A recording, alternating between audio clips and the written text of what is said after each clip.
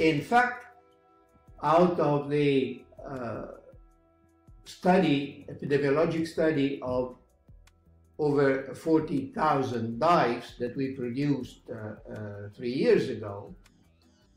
we could see that there is a significant correlation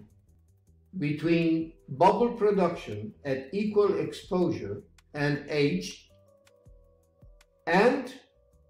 there is also a significant correlation between bubble production and fat mass, to go back to when I was speaking of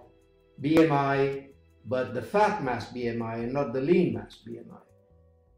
So being old and being overweight is definitely not favorable in terms of protection from bubble production.